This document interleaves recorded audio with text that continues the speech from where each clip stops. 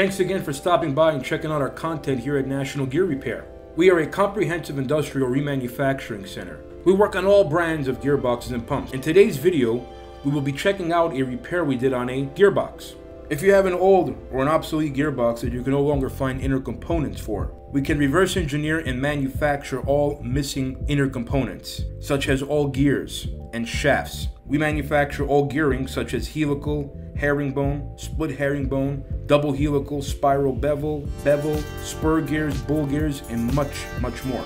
At National Gear Repair, we offer free freight and free quotes nationwide. We also offer 24 hour emergency rush repair to make sure you get your gearboxes back into production as soon as possible.